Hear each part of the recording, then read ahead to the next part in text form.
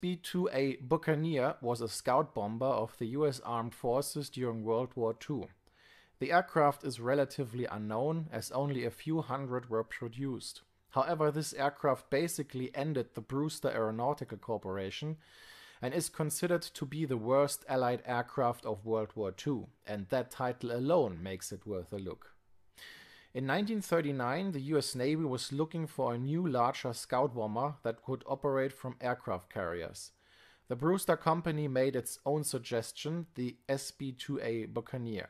The aircraft was based on the SBA, which was an unlucky aircraft of which only 40 were produced and that never saw combat.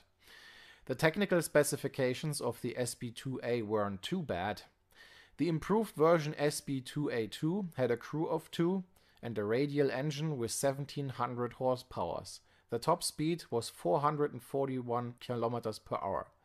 The range was 2696 km, its service ceiling 7590 meters.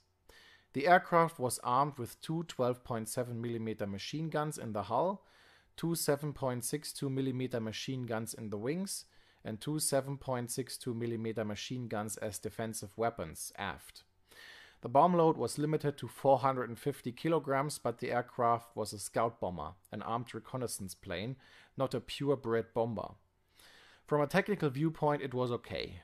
So how come it has such a bad reputation? The prototype had its first flight on June 17, 1941, a few months before the USA entered World War II. The prototype was faster and more agile than the production variant, but it lacked weaponry and armor. Also, some problems had to be solved. All that increased weight and decreased performance to the values I just presented. Still, orders came in.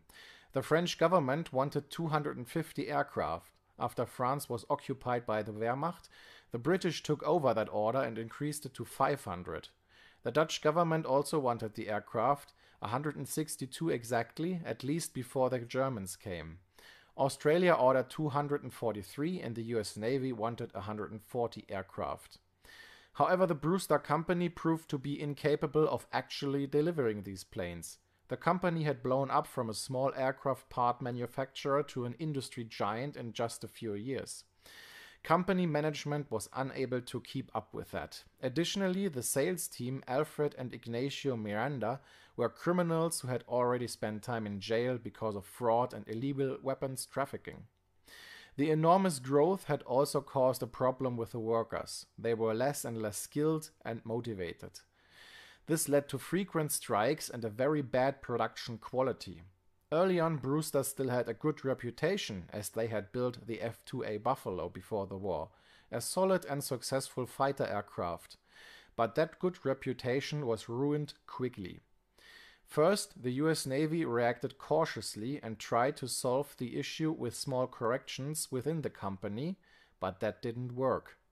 On April 18, 1942, the US Navy simply took over the company and put it under military control. During summer of 1944, the Navy released the company without giving her any more production orders, which ultimately led to the collapse of Brewster in April of 1946. The chaos caused the Buccaneer to be produced slowly and with unacceptably low quality. The Australian government cancelled its order in favor of the Vultee Vengeance. The Buccaneers that finally arrived at the Royal Air Force, US Navy, and US Army Air Force were so shoddy that for a while sabotage was considered to be the most likely cause. The Royal Air Force considered the aircraft to be unfit for combat, so the British used them as target tugs only. The US Army Air Force came to the same conclusion and only used the Buccaneer for ground training and as artillery training targets. The aircraft was even unsuitable for basic flight training. The US Navy also used the aircraft only for ground training and as a target tug. Most Buccaneers that arrived at the Royal Air Force, US Army Air Force, and US Navy were scrapped before entering service. Only the US Marines actually used the aircraft. The planes that were originally produced for the Netherlands were taken over by the Marines and used in the 531st Squadron as night fighters. The originally acceptable flight characteristics were reduced by the shoddy quality of the planes and were now far below what was required in the years 1942 to 44. A complete SB-2A can be seen in the National Museum of Naval Aviation at the Naval Air Station Pensacola in Florida. Another one is in storage on the Pima Air and Space Museum in Tucson, Arizona. All others of the 771 SB-2As were probably scrapped a long time ago.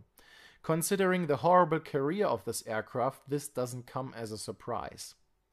Many aircraft have a difficult beginning. Some have a problematic career and are never loved by pilots or ground crew, but most are actually used.